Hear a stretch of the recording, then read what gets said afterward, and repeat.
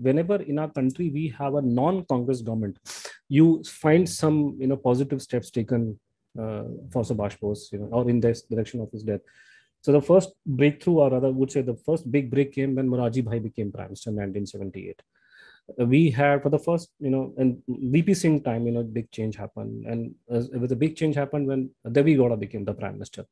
And I would say even Narasimha Rao tried to do something different from the previous government, in a manner of speaking so this is one you know thing you have to keep in mind that is every time you have a non-congress government there's some development.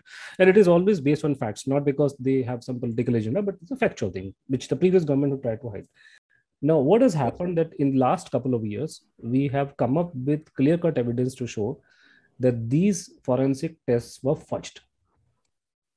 So they were the, the they were fake reports were given by the government experts.